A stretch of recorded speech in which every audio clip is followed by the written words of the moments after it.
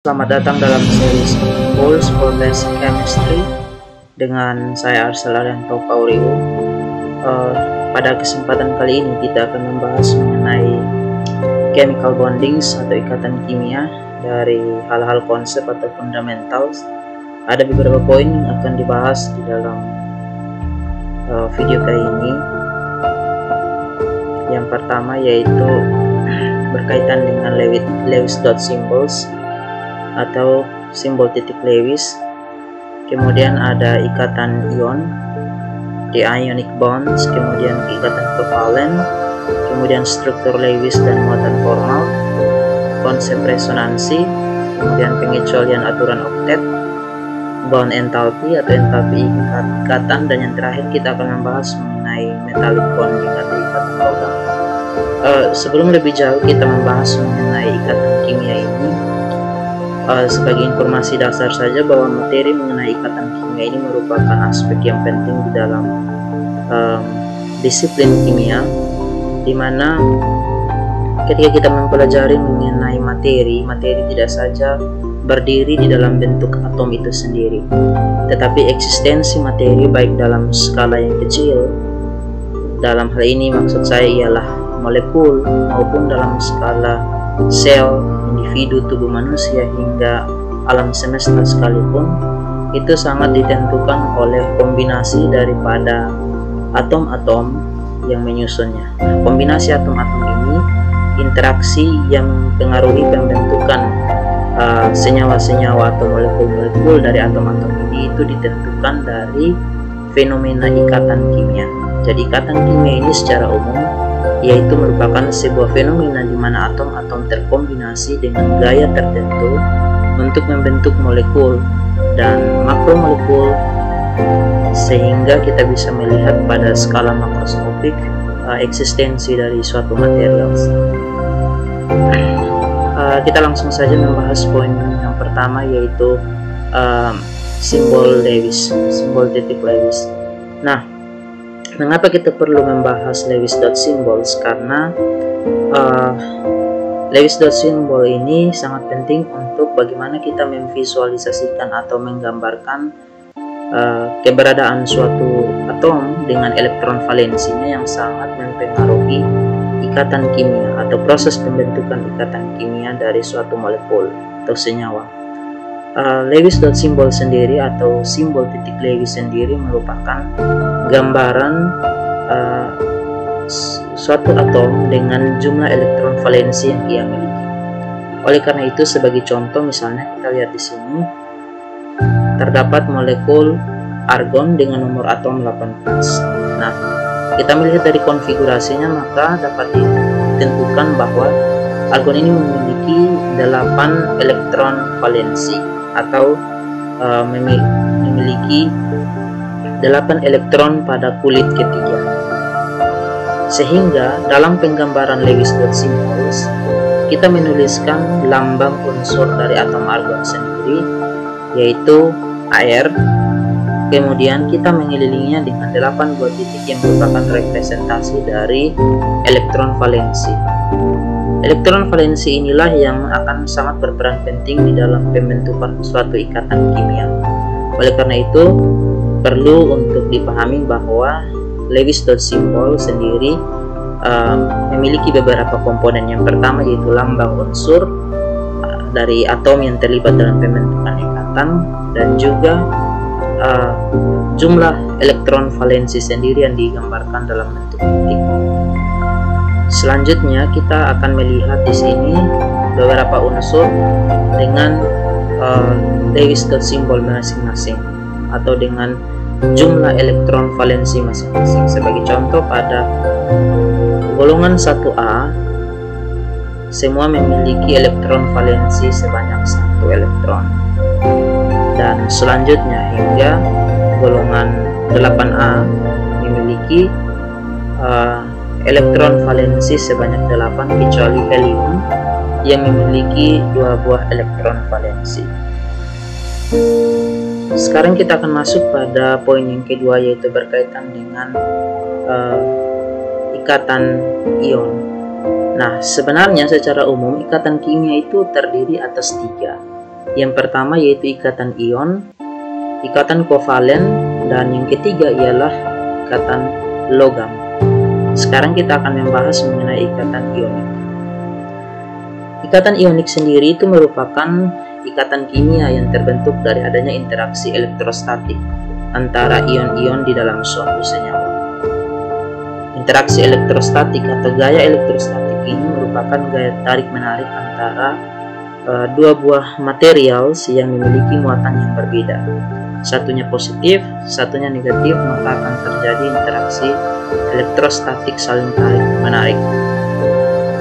Ikatan ionik ini umumnya uh, jika kita melihat dari unsur-unsur dalam tabel periodik uh, ikatan ion terbentuk dari unsur-unsur logam dan unsur-unsur non-logam unsur-unsur logam ini um, memiliki keelektronegatifan yang rendah atau dengan kata lain uh, memiliki keelektropositifan yang uh, tinggi sementara unsur-unsur non-logam sebaliknya memiliki keelektronegatifan yang tinggi.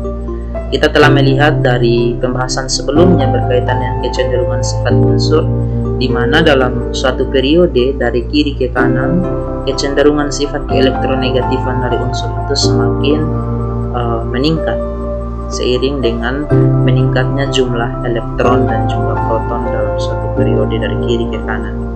Oleh karena itu, ikatan logam ini, ya ikatan ion ini umumnya terbentuk dari atom-atom uh, yang memiliki keelektropositifan yang tinggi dengan atom-atom yang memiliki keelektronegatifan yang tinggi. Nah, di sini diberikan gambaran energi ionisasi pertama dari atom-atom dalam tabel periodik. Kita melihat kecenderungannya di sini. Atom-atom dengan keelektropositifan yang tinggi dalam hal ini yaitu logam memiliki energi ionisasi yang relatif lebih rendah. Artinya uh, memiliki kecenderungan lebih mudah untuk membebaskan elektron jika dibandingkan dengan atom-atom yang memiliki keelektronegatifan yang tinggi. Dalam hal ini yaitu uh, sebagai contoh yaitu uh, unsur-unsur uh, yang berada di dalam golongan gas mulia. Nah, semakin besar energi ionisasi pertama artinya bahwa energi yang diperlukan untuk membebaskan satu mol satu membebaskan elektron dari uh, satu mol atom tersebut semakin uh, lebih besar dan artinya semakin sulit untuk membebaskan elektron. Nah, sebagai contoh di sini kita akan melihat bagaimana pembentukan senyawa ion LiF. Senyawa ion LiF ini secara makroskopik kita bisa melihat bahwa dia merupakan sebuah material solid berwarna putih. Namun, kita melihat bagaimana proses pembentukannya secara kimia. Proses pembentukan senyawa LiF ini seperti yang sudah disampaikan tadi bahwa ini merupakan jenis ikatan ion di mana terjadi interaksi antara muatan positif dan negatif dalam bentuk elektrostatik. Maka pada tahap pertama senyawa-senyawa yang memiliki eh, unsur yang memiliki keelektropositifan yang tinggi dalam hal ini yaitu Li akan membebaskan elektron. Berapa banyak elektron yang akan dibebaskan tergantung dari uh, jumlah elektron valensinya dan bagaimana ia akan membentuk kestabilan yang sesuai dengan hukum oktet dan duplet. Sebagai informasi saja bahwa kestabilan oktet itu tercapai apabila elektron terluar daripada suatu unsur pada kulit terluar itu berjumlah 8 atau uh, untuk duplet itu berjumlah dua. Kita lihat di sini bahwa atom Li dengan keelektropositifan yang tinggi itu akan membebaskan satu buah elektron untuk mencapai kestabilan oktet. Artinya pada orbital 2s terjadi kekosongan elektron setelah uh, ionisasi ionisasi elektron. Selanjutnya, elektron tersebut akan diterima oleh atom dari unsur yang memiliki keelektronegatifan keelektronegatifan yang tinggi artinya memiliki kecenderungan yang lebih besar untuk menarik elektron dari atom lain. Elektron yang diterima tersebut kemudian akan uh, akan membentuk anion yaitu F-. Sementara Li yang telah membebaskan elektron akan menjadi kation yaitu Li+. Oleh karena itu, dengan adanya pembentukan anion dan kation di mana memiliki muatan yang berlawanan yang berbeda satu positif dan satu negatif, maka gaya tarik menarik antara partikel atau ion Li+ dan ion F- inilah yaitu fenomena gaya elektrostatik yang selanjutnya akan membentuk senyawa LR. Jadi secara umum terdapat tiga tahap dalam pembentukan senyawa ion. Yang pertama yaitu uh, pembebasan elektron atau uh, untuk membentuk kation. Selanjutnya ialah penerimaan elektron untuk membentuk anion. Kation dan anion yang telah terbentuk selanjutnya akan terkombinasi melalui gaya elektrostatik untuk membentuk senyawa-senyawa ion. Contoh yang lain kita akan melihat di dalam pembentukan senyawa Li2O. Di dalam senyawa Li2O ini kita melihat bahwa ada uh, pembebasan elektron dari atom Li dengan elektronpositifan yang tinggi sebanyak satu buah elektron yang dibebaskan tiap satu atom Li.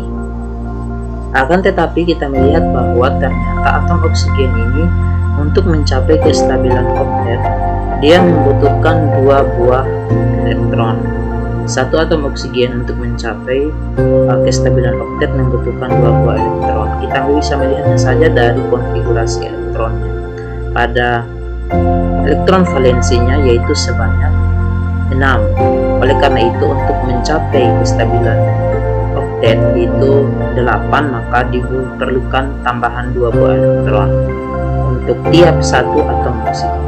Sementara tiap satu atom Li hanya bisa menyediakan satu elektron.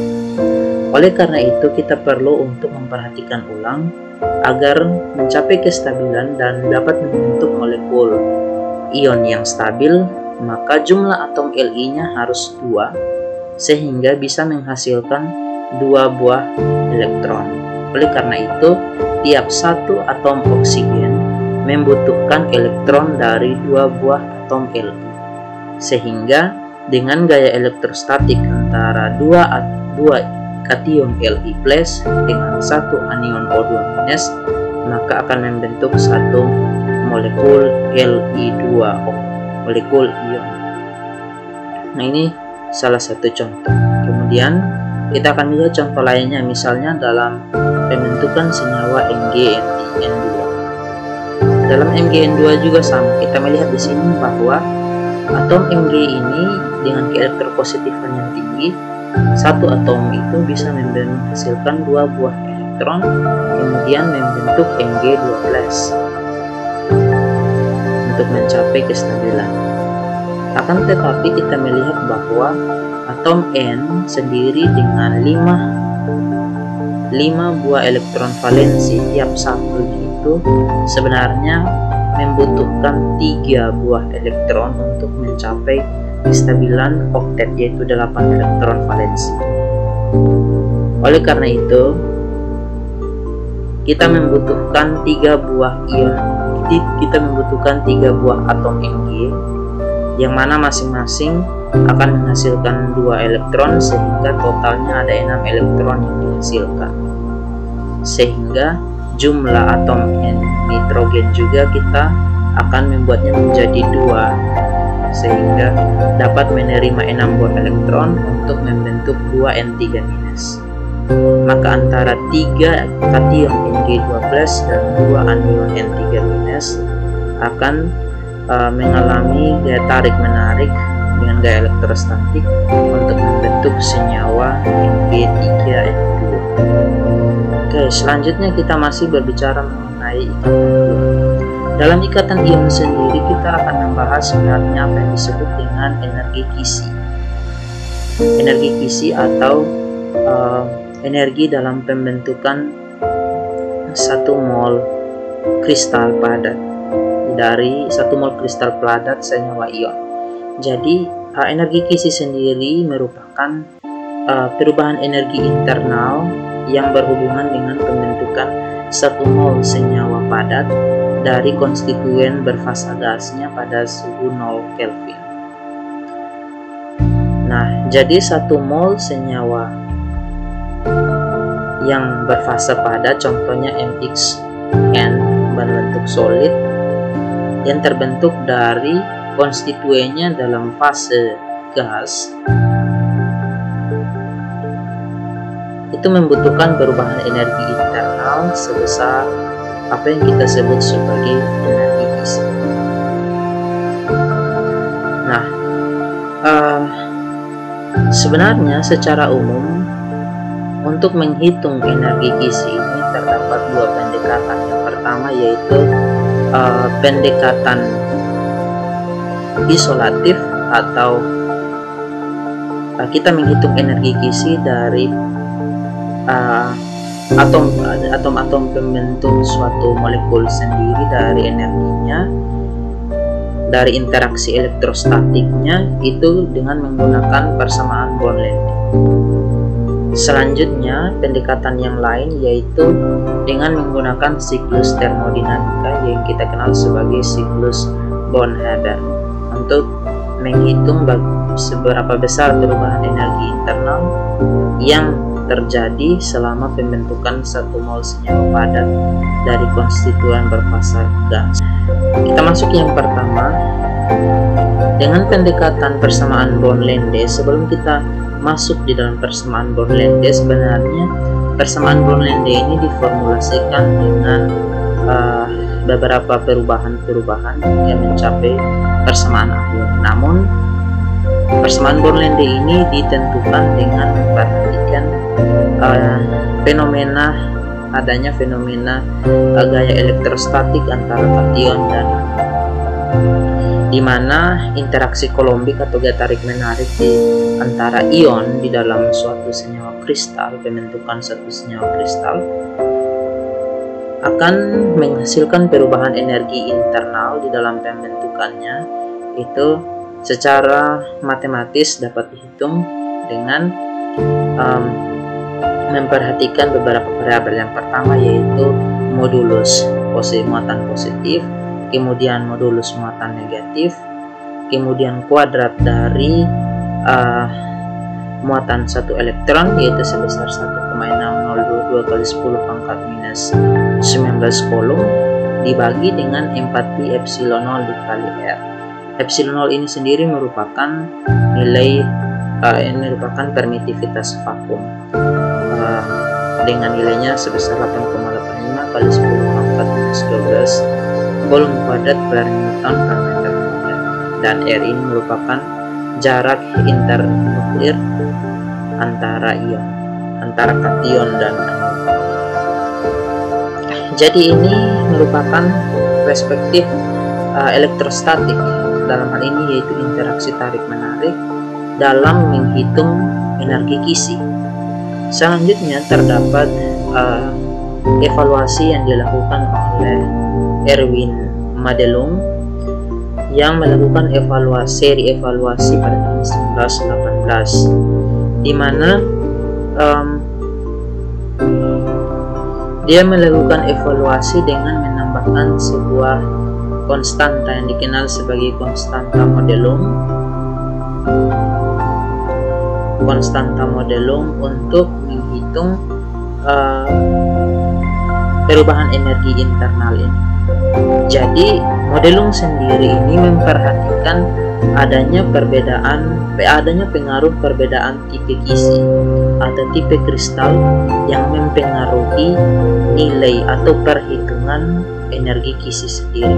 Kalau sebelumnya tidak memperhatikan tipe kisi atau jenis kristal, maka dengan evaluasi Erwin Modelung ini penentuan atau perhitungan uh, energi inter perubahan energi internal atau energi kisi ini itu memperhatikan tipe kristal atau tipe kisi dari tiap senyawa solid ionik.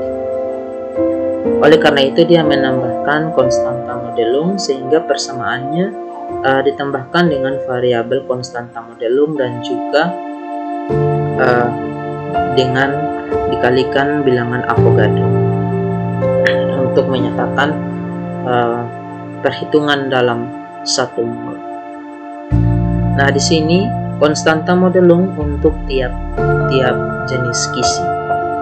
Sebenarnya uh, terdapat tujuh jenis kristal, kisi kristal, yang mana masing-masingnya itu memiliki nilai konstanta modelung tertentu. Sebagai contoh, kristal atau tipe kisi berbentuk uh, NaCl itu memiliki nilai konstanta modelung sebesar 1,75 dan uh, ada tujuh tipe kristal dengan masing-masing nilai konstanta modelung yang pada uh, slide ini. Selain itu, kita perlu memperhatikan juga bahwa ternyata di dalam senyawa kristal sendiri tidak saja gaya tarik-menarik antara proton tetapi juga kita memperhatikan adanya gaya antara elektron, daya tolak menolak antara elektron dan elektron, dan antara inti yaitu antara proton dan proton sendiri. Perubahan energi internal itu dievaluasi yaitu dengan penambahan variabel yaitu uh, eksponen bond dan koefisien tolakan atau repulsion coefficient. B ini repulsion coefficient dan N adalah eksponen bond. Nah, uh, untuk menentukan eksponen bond sendiri itu tergantung dari konfigurasi tiap ion repulsion uh, senyawa kristal tersebut. Misalnya sebagai contoh, misalnya NaCl kita lihat Na sendiri ketika di dalam bentuk ion yaitu Na akan memiliki konfigurasi yang sama dengan intinium. Oleh karena itu dia memiliki uh, nilai eksponen bond sebesar 7. Sementara uh, untuk Cl sendiri itu memiliki ketika berada di dalam bentuk anionnya yaitu Cl- memiliki konfigurasi yang sama dengan inti argon. Oleh karena itu, dia memiliki nilai eksponen sebesar 9. Sehingga jika kita ingin menentukan nilai eksponen bond, itu diperoleh dari nilai rata-rata eksponen bond kation dan eksponen bond anion. Sehingga kita bisa melihat di sini nilai eksponen bond untuk NaCl yaitu sebesar 8 diperoleh dari 7 tambah 9 per 2 nah dengan evaluasi bond ini kita mulai bisa menentukan persamaan bond lende kita menjumlahkan kombinasi-kombinasi persamaan tadi. Ini adalah persamaan awal persamaan elektrostatik itu sendiri untuk menghitung perubahan energi internal. Uh, kemudian setelah itu mulai lagi dikombinasikan dengan uh, evaluasi modelung. Selanjutnya memperhatikan adanya gaya tolakan antara elektron-elektron dan proton serta proton. Maka kita di sini bisa mulai untuk melakukan evaluasi terhadap nilai koefisien repulsif atau koefisien tolakan di sini. Dengan memperhatikan bahwa pada saat pemisahan kesetimbangan di mana R sama dengan R0 turunan dari DU per DR itu sama dengan kemudian kita melakukan uh, kita melakukan operasi diferensial terhadap persamaan kombinasi antara kolombik dan bond sehingga kita memperoleh DU per DR ini sama dengan minus NA dikali A kemudian uh, modulus positif kali modulus negatif elektrostatik E nilai muatan elektron dikuadratkan dibagi 4pi epsilon 0 R nya menjadi kuadrat. Dijumlahkan dengan N dikali uh, bilangan Avogadro kemudian dikalikan dengan koefisien tolakan dibagi dengan R eksponen bond tambah 1 kita telah mengetahui bahwa turunan DU per DR itu sama dengan 0 pada kondisi R sama dengan R0 maka di sini kita hasil operasi diferensial tadi sama dengan 0 sehingga kita bisa membuat B nya itu menjadi subjek dari persamaan. Oleh karena itu kita bisa memperoleh nilai B atau nilai koefisien tolakan atau repulsion coefficient nilai koefisien tolakan ini selanjutnya kita akan substitusikan ke dalam persamaan perubahan energi internal. Ya nilai B ini kita substitusikan ke dalam uh, persamaan kombinasi tadi. Selanjutnya kita memperoleh nilai delta U atau energi kisi sama dengan negatif konstanta Avogadro dikali konstanta modulum dikali modulus positif kali modulus negatif dikali nilai muatan elektron dikuadratkan bagi 4pi epsilon 0 r dikali dengan 1 kurang 1 per eksponen Bohm. Inilah yang disebut sebagai persamaan uh, Bohm-Lende untuk menghitung uh, menghitung energi kisi yang uh, yang dihasilkan atau energi kisi di dalam suatu di dalam pembentukan suatu senyawa ionik padatan. Jadi persamaan Born-Lende ini telah memperhatikan tidak saja adanya gaya tarik menarik, tetapi juga interaksi tolak menolak antara uh, antara ion-ion di dalam pembentukan uh, satu mol senyawa padat dari konstituen-konstituennya yang berfasa gas. Selanjutnya kita bisa melihat contoh misalnya dalam uh, pembentukan Selanjutnya kita bisa melihat contoh misalnya dalam pembentukan senyawa NaF.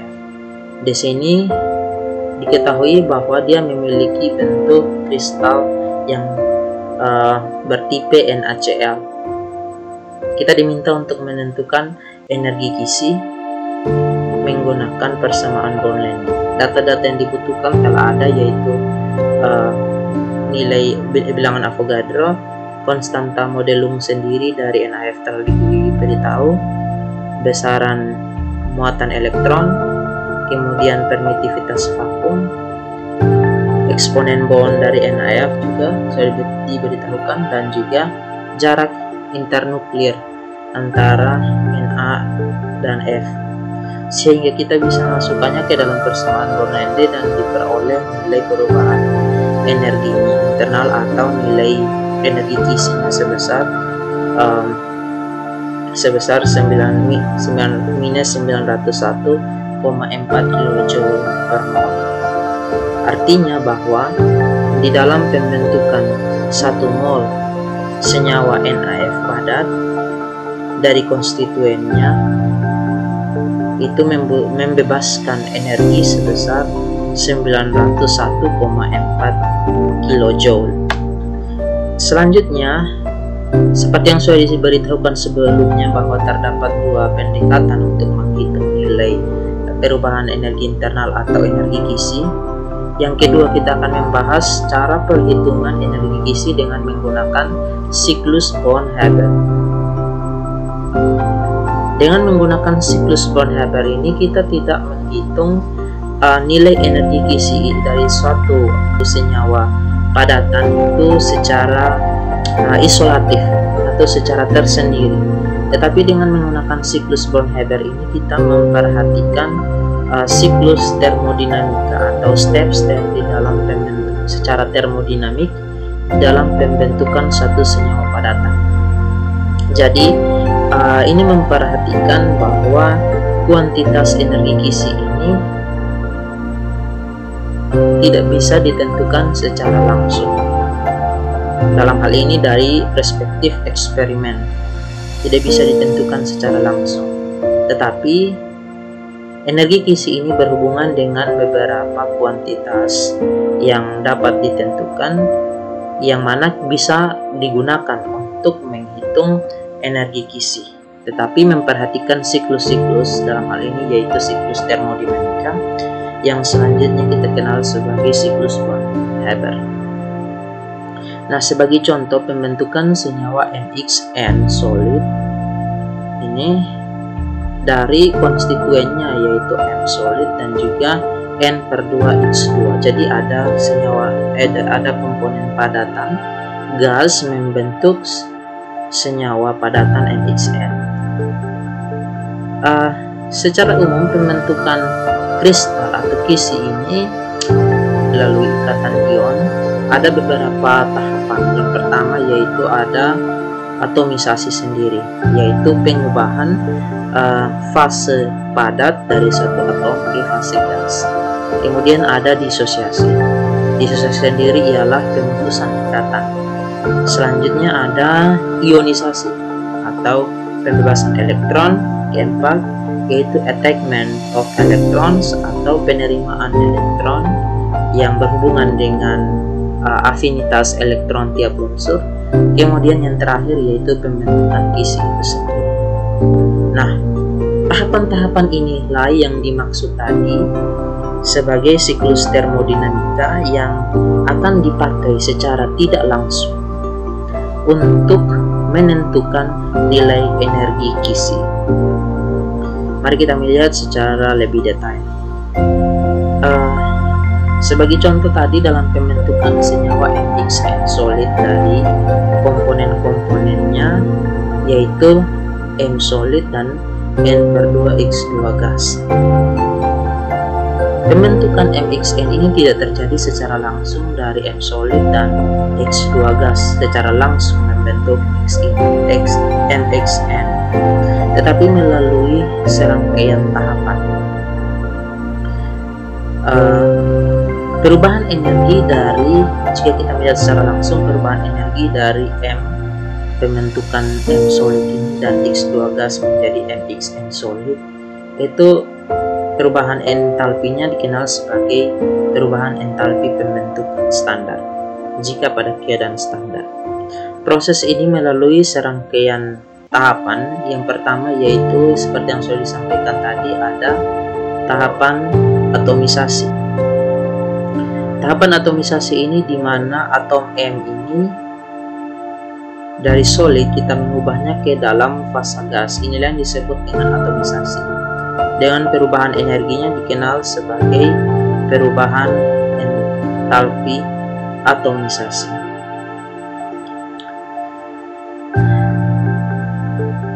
Selanjutnya, setelah atomisasi maka ada proses yaitu disosiasi disosiasi atau pemutusan ikatan X2 ini. Pemutusan ikatan X2 menjadi komponen-komponen atomnya. Jika sebelumnya dalam molekul gas, maka sekarang dalam bentuk atom gas.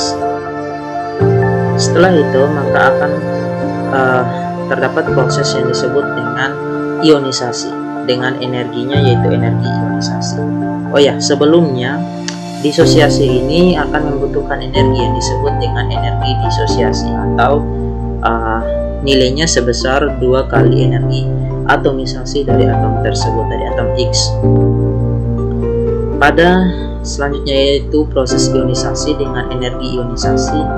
Proses ini sangat bergantung dari jenis atom atau jenis unsurnya. Jika atom-atom dari polikationik maka Proses ionisasi ini tidak saja berlangsung dalam satu tahap, bisa dua tahap, maka ada energi ionisasi pertama dan ada energi ionisasi kedua. Selanjutnya, elektron yang dihasilkan dari proses ionisasi tersebut um, akan diterima oleh atom yang memiliki keelektronegatifan yang tinggi, yaitu dalam hal ini yaitu X minus, eh, X tadi, unsur X. Maka akan membentuk X minus. Nah, ini berhubungan dengan afinitas elektron yang selanjutnya terdapat perubahan energi yang disebut dengan energi afinitas. Proses ini kemudian sampai pada pembentukan M plus gas dan X minus gas. Nah, kedua komponen inilah yang selanjutnya dengan gaya elektrostatik membentuk senyawa padatan MX N Dari proses ini perubahan energinya itulah yang kita kenal atau kita sebut sebagai perubahan energi kisi. Nah, perubahan energi kisi ini dengan menggunakan siklus Born-Haber itu bisa ditentukan dengan menggunakan pendekatan hukum Hess. Sebagai gambaran sendiri, hukum Hess itu menyatakan bahwa dalam memperhitungkan perubahan energi dalam suatu proses termodinamika, tidak memperhatikan ah, prosesnya, tetapi hanya memperhatikan kondisi awal energi kondisi akhir daripada energi itu sendiri. Sehingga nilai entalpi dari entalpi kisi itu dapat ditentukan dengan menggunakan hukum Hess. Di sini kita bisa melihat bahwa de, kalau melihat hukum Hess, maka pros, uh, perubahan entalpi pembentukan standar itu sama dengan keseluruhan energi yang telah disebutkan tadi yaitu kon, kombina, uh, pen, uh, jumlah dari entalpi atomisasi, energi disosiasi, energi ionisasi, afinitas, energi afinitas, dan energi kisi sendiri. Oleh karena itu, energi kisi kita ubah menjadi subjek dari persamaan, sehingga kita bisa menentukan besaran energi kisi yang terjadi di dalam pembentukan satu proses yang padat, yaitu dengan uh, menggunakan pendekatan perubahan pendekatan entalpi pembentukan standar dikurangi dengan uh, entalpi atomisasi kemudian energi disosiasi, energi ionisasi, dan energi aktivitas elektron.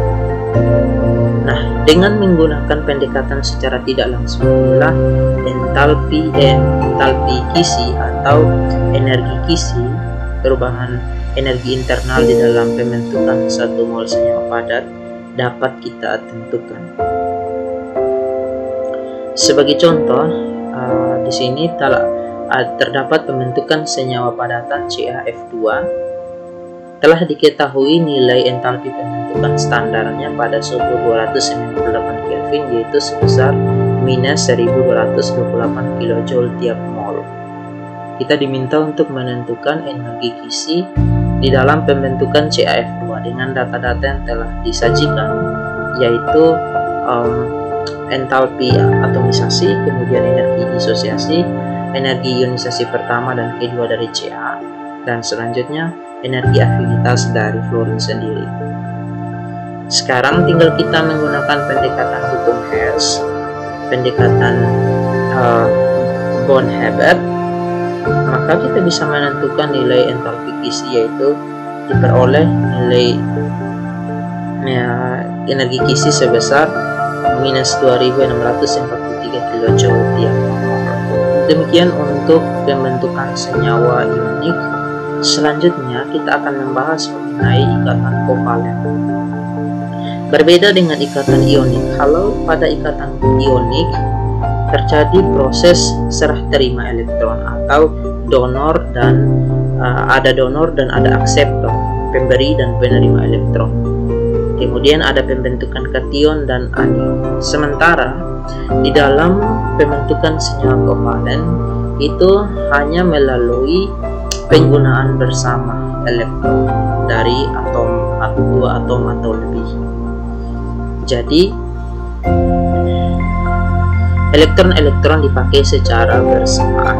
Sebagai contoh di dalam pembentukan senyawa A2 di mana tiap Y mana terbentuk dari atom hidrogen dengan satu elektron maka dua buah elektron dari masing-masing atom H ini akan dipakai secara bersamaan.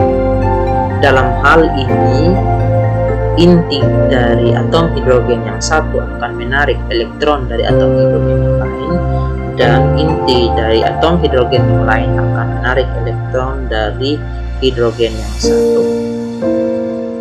Nah, di dalam pembentukan senyawa kovalen ini, tiap elektron itu itu tertarik ke inti dari atom yang eh, dari tertarik ke inti dari kedua buah atom jika misalnya atom molekul tersebut ialah molekul diatom. Tetapi dalam pembentukan senyawa kovalen ini juga sama dengan senyawa ionik bahwa yang terlibat itu hanyalah elektron valensi jadi bukan inner electrons. Nah, oleh karena itu tidak semua elektron karena tidak semua elektron valensi akan terlibat di dalam pembentukan um, ikatan kovalen, maka akan ada yang disebut dengan um, pasangan bebas elektron elektron bebas atau lone pair elektron, pasangan elektron bebas. Kemudian ada juga yang disebut dengan pasangan elektron ikatan, yaitu elektron-elektron yang terlibat secara langsung di dalam pembentukan ikatan antara dua atom. Nah, kita bisa melihat di sini struktur Lewis, yaitu gambaran secara sederhana bagaimana uh, atom-atom uh, tersebut terkombinasi dalam sebuah ikatan kimia. Uh, struktur Lewis sendiri itu merupakan representasi dari ikatan kovalen uh, di mana elektron-elektron yang kita sebut sebagai elektron ikatan yang terlibat dalam ikatan itu dihubungkan dengan garis sehingga hanya digambarkan seperti ini yaitu strap antara F dan F atom F kemudian uh, elektron bebas itu digambarkan dalam bentuk titik di sekitar atom atom fluorine. Contoh lainnya misalnya dalam pembentukan H2O.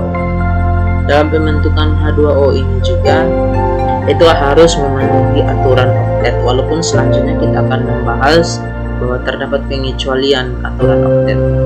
Nah, aturan oktet tersebut mengindikasikan bahwa uh, atom selain hidrogen itu cenderung untuk membentuk ikatan di mana mencapai kondisi terdapat 8 elektron valensi yang mengelilingi atom suatu atom atau mencapai kestabilan oktet. Nah, untuk mencapai kestabilan oktet tersebut tidak saja terdapat uh, single bond atau ikatan tunggal antara atom-atom. Terkadang terdapat uh, lebih dari ikatan tunggal dalam hal ini yaitu terdapat sepasang elektron. Tetapi juga terdapat yang disebut dengan ikatan rangkap dua dan ikatan rangkap tiga. Ya, jadi terdapat ikatan rangkap dua dan ikatan rangkap tiga. Contoh ikatan rangkap dua yaitu di dalam molekul karbon dioksida. Uh, di dalam molekul karbon dioksida ini antara molekul atom karbon dan atom oksigen terdapat dua buah terdapat dua pasang elektron ikatan atau ada empat elektron yang terlibat di dalam pembentukan ikatan tersebut antara C dan O. Tetapi secara keseluruhan karena terdapat dua atom oksigen maka terdapat 8 elektron yang terlibat di dalam pembentukan ikatan yang kita kenal sebagai uh, empat pasangan elektron ikatan. Kemudian juga terdapat ikatan rangkap tiga. Ikatan rangkap tiga sebagai contoh di dalam molekul uh, nitrogen atau N2. Gas nitrogen itu memiliki ikatan kovalen rangkap tiga uh, yang membentuk senyawa tersebut. Selain itu, selain ikatan kovalen tadi dengan penggunaan bersama, pada kondisi tertentu penggunaan bersama elektron ini terkadang hanya uh, elektron dimaksud hanya berasal dari satu uh, satu komponen atau satu spesies ini disebut dengan pembentukan ikatan kovalen koordinasi, di mana ikatan kovalen ini uh, terbentuk dari salah satu atom mendonasikan dua buah elektron atau keseluruhan elektron dalam satu ikatan itu hanya didonasikan dari satu spesies atau satu atom berbeda dengan ikatan kovalen pada umumnya di mana elektron itu uh, tiap uh, elektron elektron ikatan itu dinodonasikan dari uh, masing-masing uh, atom. Sementara di dalam ikatan kovalen koordinasi, sepasang elektron ikatan itu murni hanya berasal dari satu atom tertentu. Sebagai contoh, di dalam pembentukan senyawa NH3BF3. Di sini kita melihat bahwa atom nitrogen dari NH3 mendonasikan sepasang elektronnya di dalam pembentukan senyawa koordinasi untuk membentuk ikatan kovalen antara NH3 dan BF3. Selanjutnya kita melihat di sini bagaimana uh, ikatan kovalen itu berhubungan juga dengan keelektronegativitas uh, elektronegativitas dari tiap atom unsur. Elektronegativitas sendiri merupakan kemampuan dari suatu atom untuk menarik elektron-elektron dari atom lain dalam suatu ikatan kimia. Nah, secara kualitatif, elektronegativitas ini dinyatakan kita melihat di dalam skala Pauling. Kita bisa melihat bahwa di dalam suatu periode, keelektronegatifan unsur-unsur dalam tabel periodik itu semakin meningkat seiring dengan meningkatnya karakter non-logam. Sementara dalam satu uh, golongan itu terlihat bahwa semakin kecil dari atas ke bawah nilai elektronegativitas. Secara kualitatif kita juga bisa uh, memprediksikan bagaimana pembentukan ikatan kovalen itu atau ikatan uh, ionik. Secara umum, ikatan ionik itu akan terbentuk dengan perbedaan elektronegativitas yang tinggi Sebaliknya ikatan kovalen terbentuk dengan perbedaan elektronegativitas yang relatif rendah antara kedua atom. Kita bisa melihat di sini bahwa dalam satu periode nilai elektronegativitas dari Li hingga fluorine ini semakin meningkat. Nah, atom dari unsur dengan perbedaan elektronegativitas yang, yang tinggi cenderung untuk membentuk senyawa ion secara kualitatif jika perbedaan keelektronegatifannya itu antara kedua atom yang berikatan lebih dari dua pada skala Pauling maka dapat dikatakan bahwa ikatan tersebut adalah ikatan ionik. Namun ini adalah pendekatan kualitatif. Sehingga kita bisa melihat di sini plot antara perbedaan keelektronegatifan dengan persen uh, persen karakter ion. Kita bisa melihat di sini bahwa semakin tinggi perbedaan keelektronegatifan antara dua buah unsur yang membentuk satu ikatan kimia, maka persen ionnya itu atau persen karakter ion itu semakin tinggi. Atau dapat dikatakan bahwa um, molekul tersebut terbentuk dari senyawa ion. Walaupun uh, pada senyawa kovalen umumnya kebanyakan masih memiliki karakter I. Hanya pada kovalen misalnya uh, diatomik yang murni seperti H2 yang benar betul-betul yang benar-benar murni memiliki karakteristik ion, memiliki karakteristik kovalen kebanyakan senyawa-senyawa ion tidak mencapai karakteristik 100% tidak mencapai karakteristik ionik 100% sementara senyawa non polar murni itu umumnya dengan ikatan kovalen memiliki persen ionik sebesar 0% artinya dia murni sebagai senyawa kovalen sebagai contoh yaitu Cl2 yaitu senyawa diatomik kovalen memiliki karakter ion sebesar 0%. Nah, di sini keelektronegatifan ini juga sangat uh, mempengaruhi jenis ikatan kovalen yang terbentuk. Kita akan mengklasifikasikan ikatan kovalen selain berdasarkan banyak uh, jenis banyaknya ikatan, sebab yaitu tadi ada ikatan tunggal, ikatan rangkap dua, dan ikatan rangkap tiga, kita akan mengklasifikasikan senyawa kovalen ini dalam dua klasifikasi yaitu senyawa kovalen polar dan senyawa kovalen non-polar. senyawa kovalen polar ini terbentuk karena uh, adanya ketidakseimbangan distribusi elektron di dalam uh, sebuah ikatan. Apabila elektron-elektron menghabiskan lebih banyak waktu dalam mendekati suatu atom tertentu, maka distribusi elektron itu menjadi tidak rata sehingga akan terjadi yang disebut dengan polarisasi atau pengutupan ada kutub yang positif di mana distribusi elektronnya sedikit.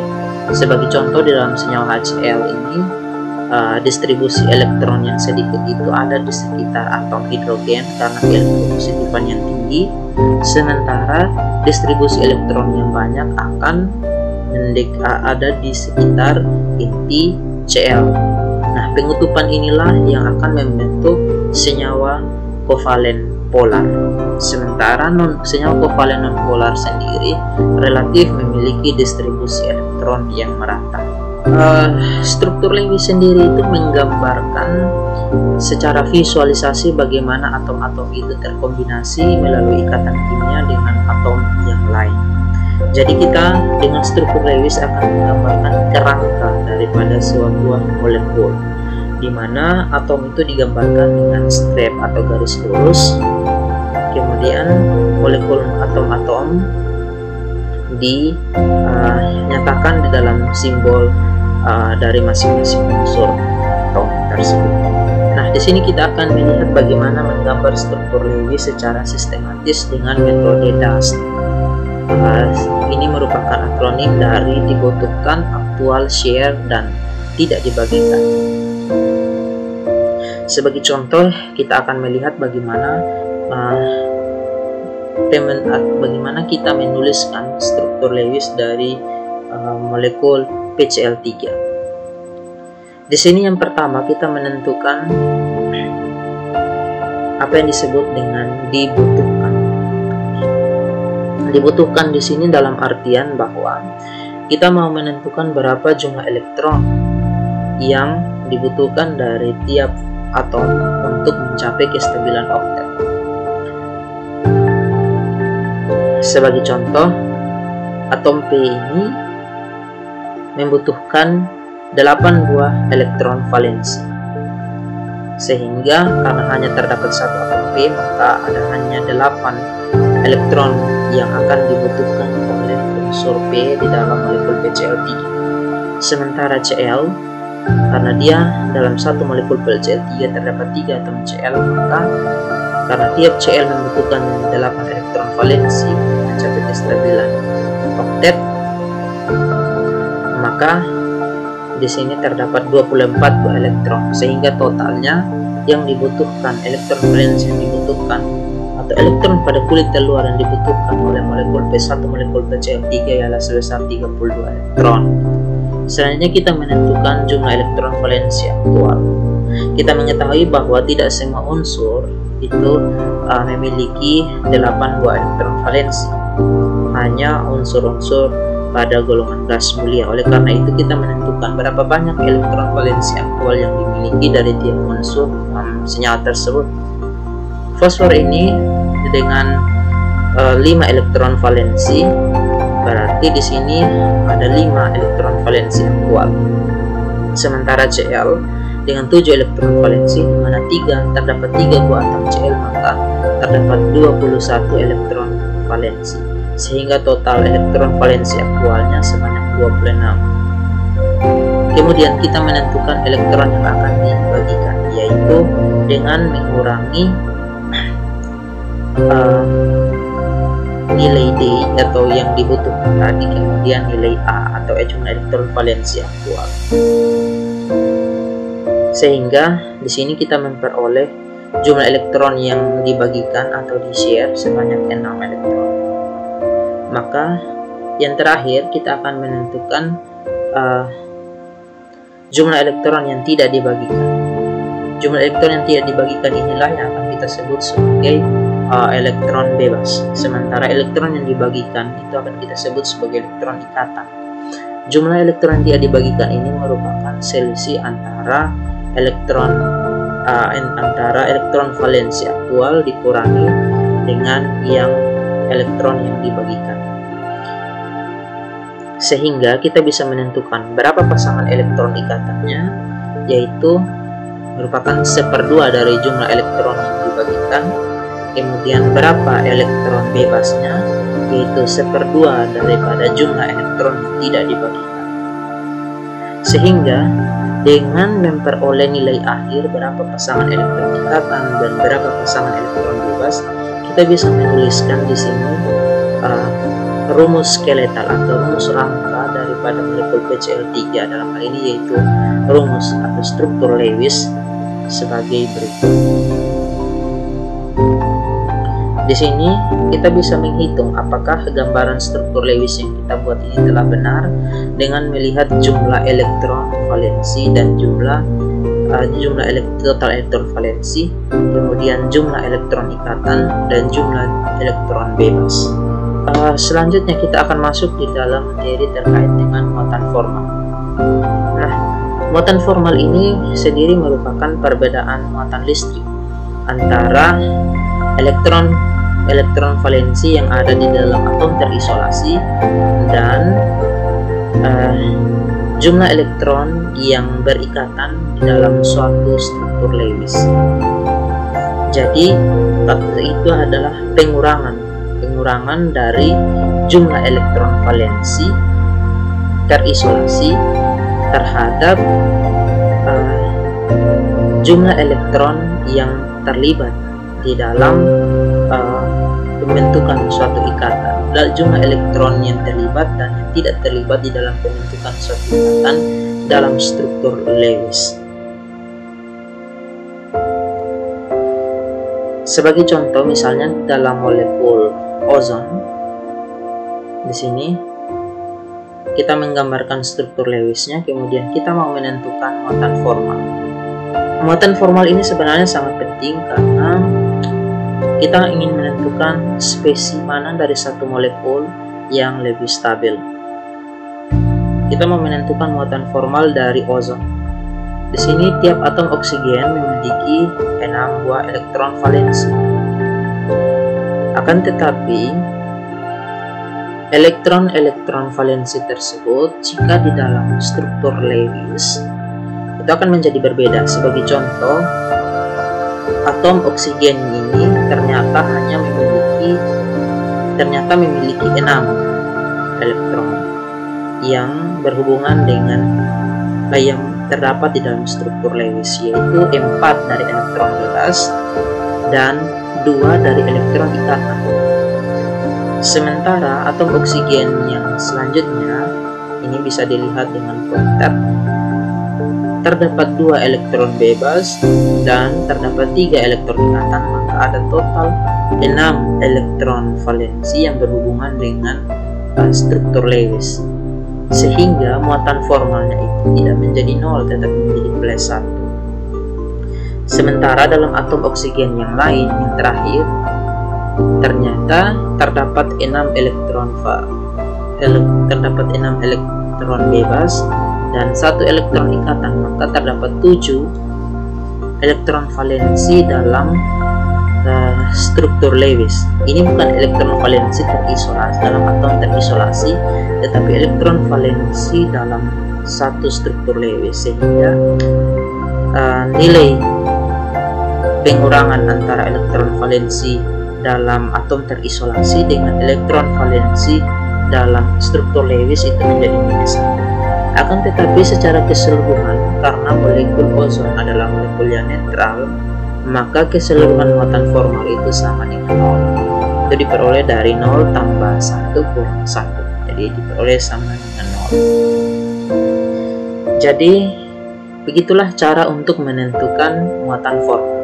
Yaitu kita bisa menentukannya dengan mengurangi jumlah elektron valensi di dalam atom terisolasi dalam artian misalnya oksigen dalam atom terisolasi atau dalam atom oksigen sendiri memiliki 6 elektron valensi tetapi ketika kita telah menggambarkannya di dalam sebuah ikatan kimia dalam representasi struktur Lewis maka tidak selamanya akan dikelilingi oleh enam elektron valensi. Itu bisa berubah.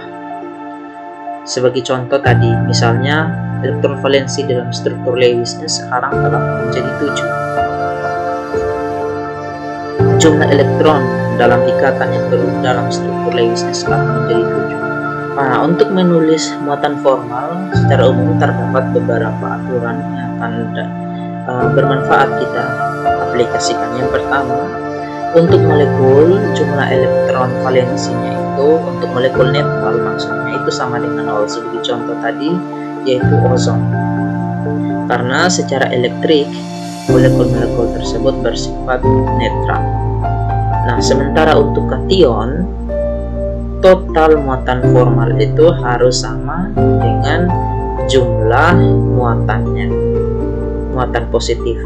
Sementara untuk anion juga total muatannya itu total muatan formalnya itu harus sama dengan jumlah muatan negatifnya. Nah sebagai contoh ini di dalam molekul CO3 2- di dalam molekul CO3 2- ini kita telah mengetahui bahwa ini adalah molekul ion yaitu anion dengan muatan totalnya 2- maka di sini kita bisa menghitung muatan formal dari masing-masing atom unsur pembentuk anion CO3 2-. Di sini kita bisa melihat bahwa setelah melakukan perhitungan muatan formal diperoleh formal muatan formalnya itu sebesar minus 2 yang mana harus sesuai dengan muatan daripada spesies itu sendiri.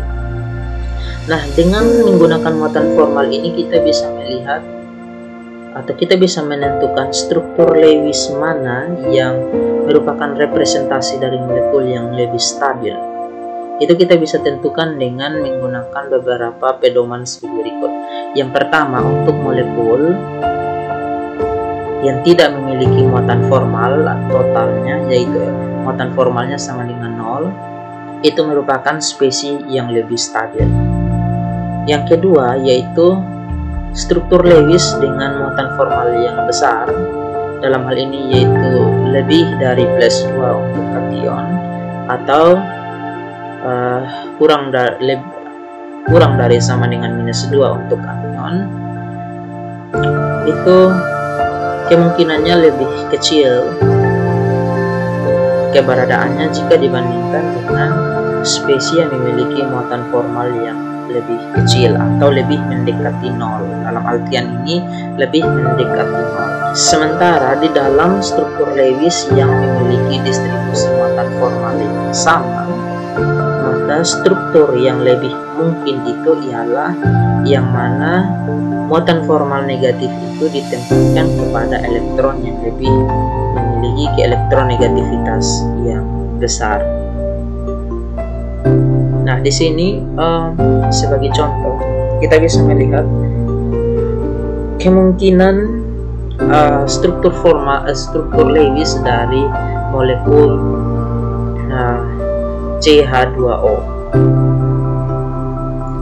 Di sini kita bisa melihat terdapat dua struktur yaitu A dan B untuk menggambarkan molekul CH2O di sini. Nah, kita ingin menentukan struktur manakah yang merupakan gambaran dari bentuk molekul yang lebih mungkin atau lebih stabil. Itu dapat kita tentukan dengan menghitung muatan formalnya. Muatan formalnya itu kita hitung dan ternyata yang struktur A memiliki total muatan formal atau total FC itu sama dengan 0 juga. Kemudian yang B juga sama dengan 0. Akan tetapi terdapat perbedaan di mana pada muatan formal struktur A di sini pada atom karbonnya itu nilai muatan formal parsialnya sama dengan minus 1 sementara oksigennya muatan formalnya sama dengan plus 1 sementara pada struktur B semua spesies memiliki muatan formal parsial sama dengan 0 oleh karena itu dengan memperhatikan aturan nomor 2 tadi di mana struktur yang lebih memungkinkan ialah yang memiliki muatan formal parsial yang kecil, maka di sini kita bisa menentukan bahwa struktur yang lebih stabil representasi Lewis, struktur Lewis dari molekul yang lebih stabil ialah struktur B.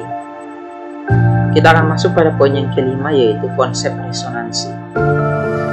Ada terdapat sebuah persoalan di mana di dalam molekul ozon kita akan melihat terdapat ikatan tunggal antara oksigen dan juga terdapat ikatan rangkap dua.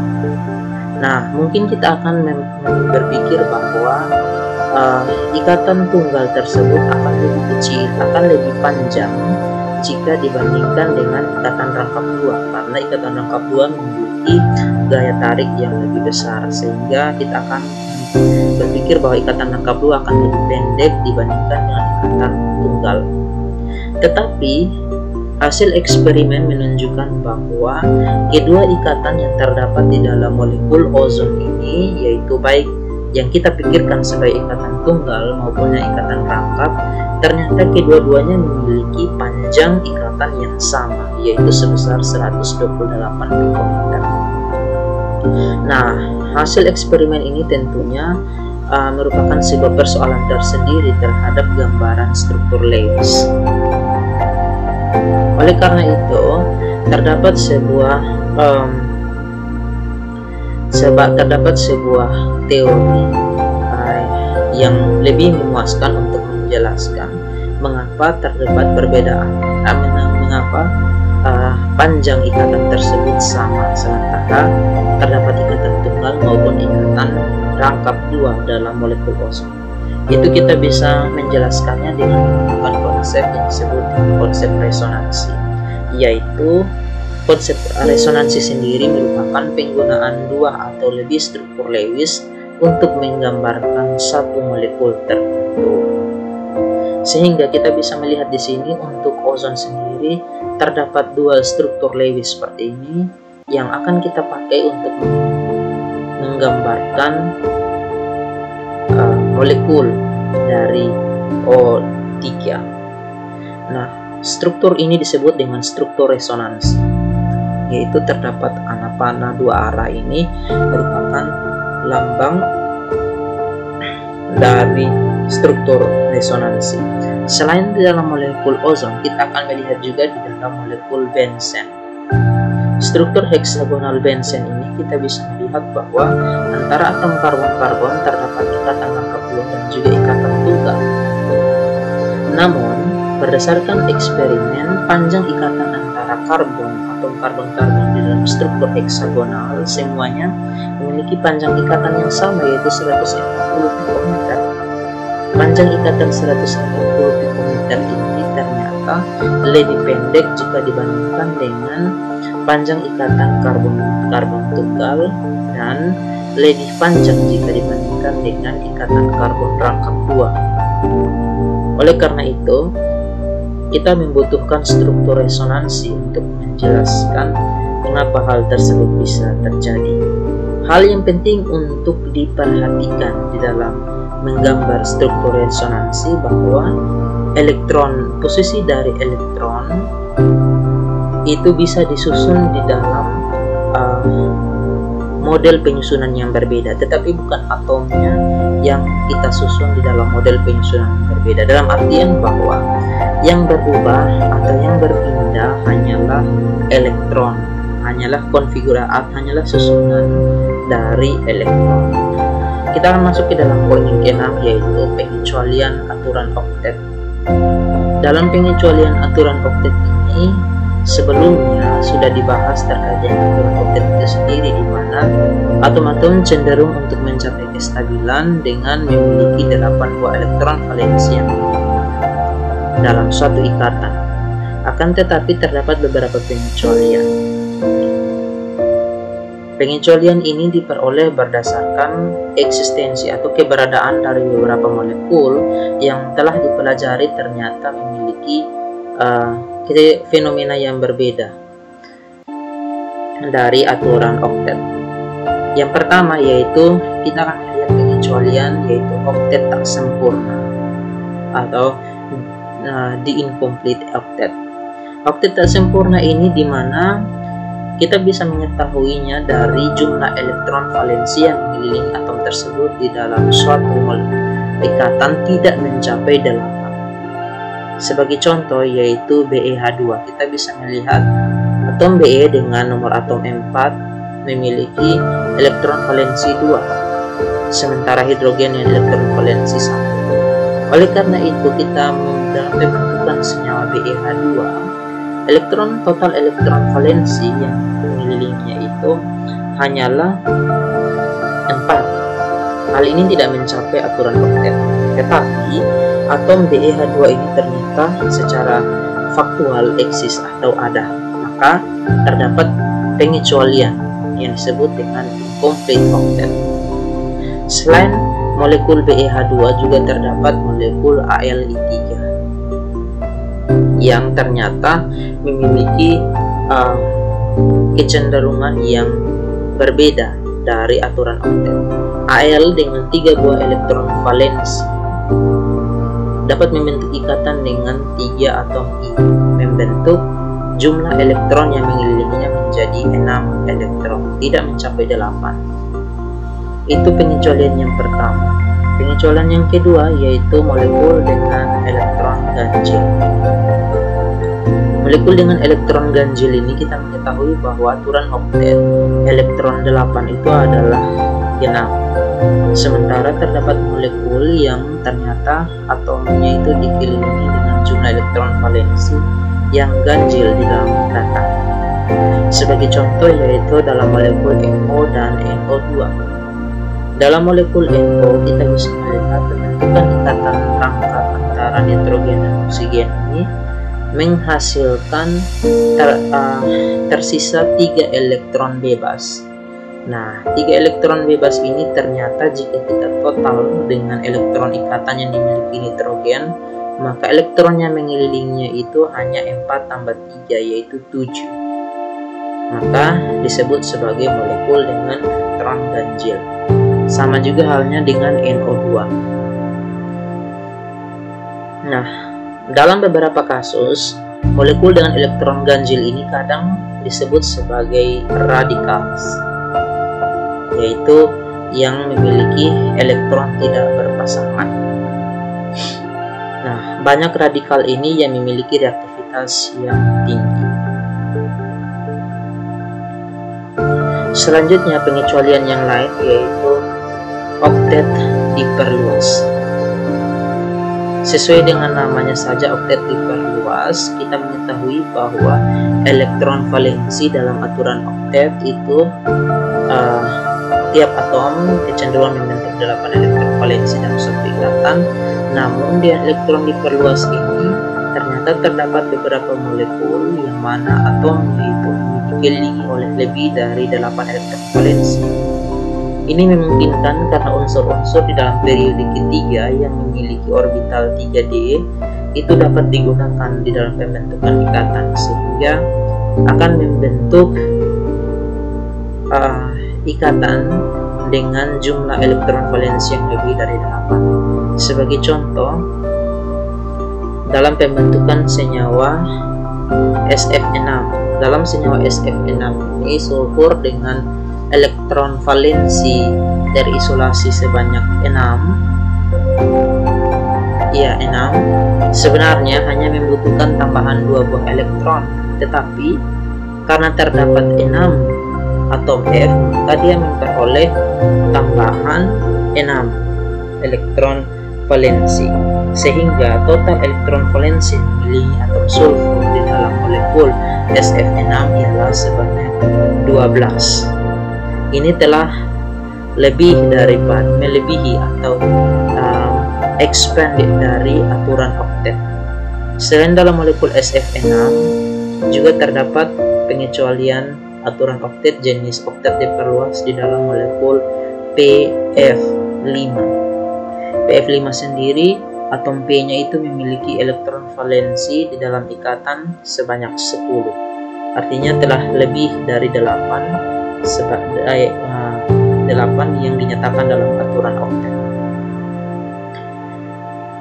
Nah, berikutnya kita akan membahas berkaitan dengan entalpi ikatan. Entalpi ikatan ini merupakan perubahan entalpi yang dibutuhkan atau yang dibebaskan untuk memutuskan ikatan di dalam satu mol molekul satu mol molekul berfase gas. Jadi perubahan entalpi yang dibutuhkan atau uh, perubahan entalpi yang terjadi ketika satu mol gas ikatan satu mol gas itu diputuskan.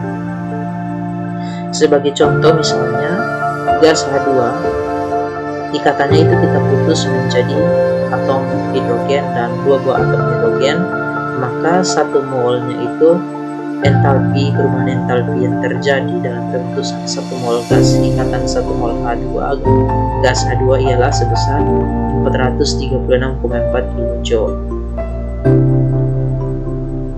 nah ini adalah contoh untuk ikatan kovalen tunggal. Kita ketahui bahwa ikatan kevalen itu juga bisa rangkap dua maupun bisa rangkap tiga.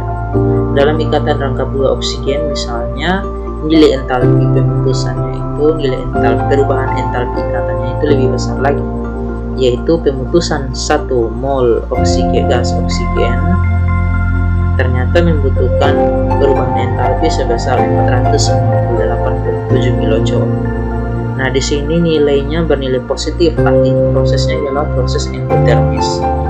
Sehingga dapat dikatakan bahwa untuk memutuskan atom oksigen, satu mol molekul oksigen membutuhkan membutuhkan energi sebesar 498 kJ.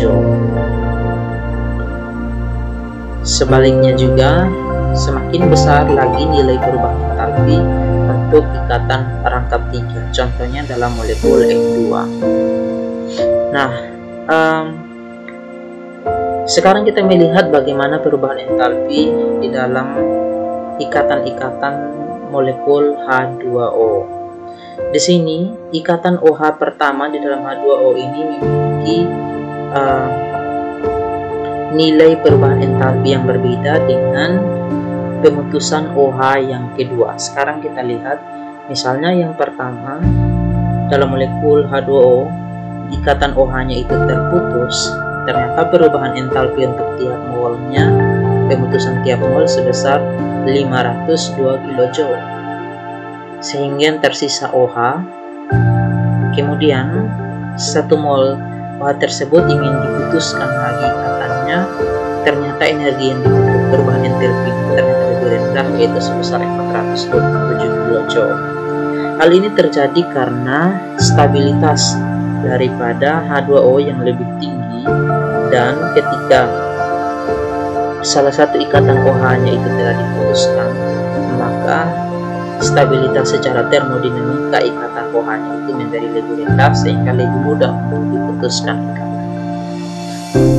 Nah, di sini terdapat data perubahan entalpi dari beberapa jenis ikatan. Ini disebut sebagai uh, entalpi ikatan.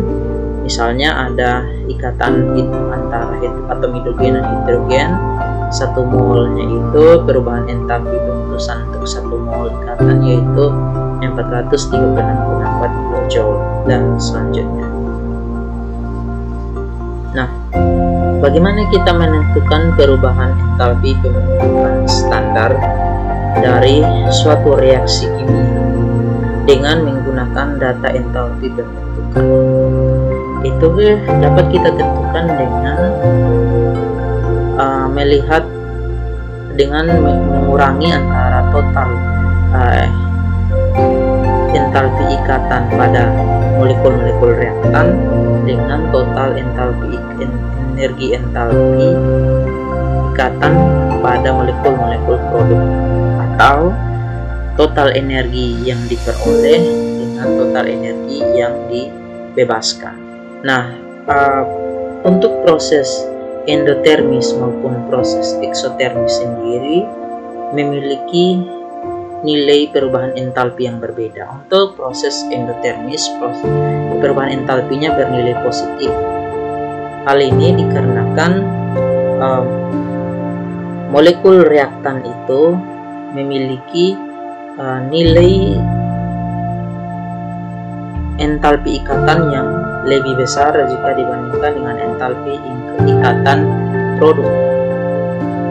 Sehingga itu kita bisa masih bisa memperoleh nilai perubahan entalpi yang positif. Sementara pada proses uh, eksotermus nilai nilai entalpi ikatan pada reaktan itu lebih tinggi jika dibandingkan dengan uh, nilai entalpi ikatan pada produk. Oleh karena itu, kita bisa menentukan kita akan memperoleh nilai perubahan entalpi yang negatif secara keseluruhan dalam reaksi tersebut. Poin yang terakhir dalam pembahasan kita kali ini yaitu berkaitan dengan ikatan logam. Jika sudah dibahas sebelumnya bahwa ikatan ion itu terjadi antara senyawa logam dan non-logam, kemudian ikatan kovalen antara non-logam dan logam, sementara sekarang ikatan ion, eh, ikatan logam umumnya terjadi antara senyawa-senyawa logam yang bersifat logam atau yang memiliki keelektropositifan yang relatif tinggi. Contohnya pada besi aluminium, semuanya itu terbentuk dari ikatan ikatan uh, ikatan logam atau metallic bond. Jadi kita sudah membahas ada ikatan ion, ikatan kovalen, sekarang ialah ikatan logam. Nah, um, kalau ikatan ion terjadi serat terima elektron, ikatan kovalen terjadi penggunaan bersama elektron oleh atom-atom.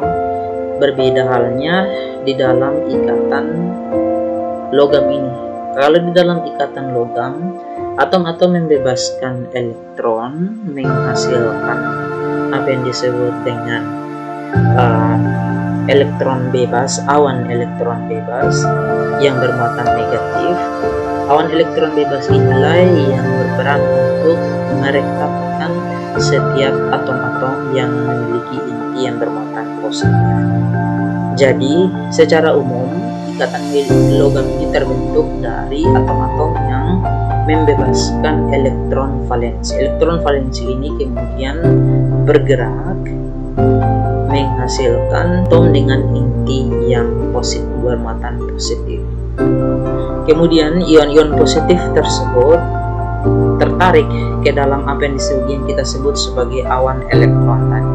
Gaya tarik antara muatan positif atom dengan awan-awan elektron inilah yang kita kenal sebagai ikatan ion.